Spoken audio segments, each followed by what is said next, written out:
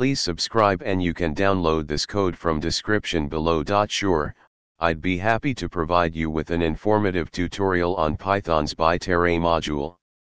The bytearray module is a powerful and efficient way to work with arrays of bits in Python. It provides a convenient and memory-efficient data structure for handling bit-level operations.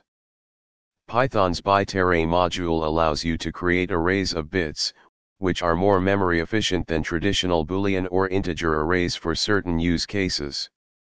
Bytearray is a third-party module, so you need to install it before using it. To create a bytearray, you can use the following. You can set individual bits in a bytearray using indexing. The indexing is similar to a list or array. To access a specific bit, you can use the index as well.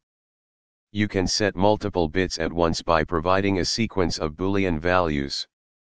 The bytearray module provides several useful methods for manipulating and inspecting bit arrays.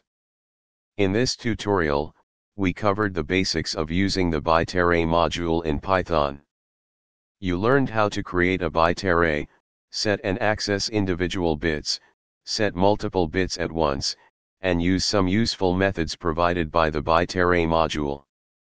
This module is particularly useful when dealing with large sets of binary data where memory efficiency is crucial. For more details and advanced usage, refer to the official documentation, bytearray documentation. I hope this tutorial helps you understand and use the bytearray module effectively in your Python projects. ChatGPT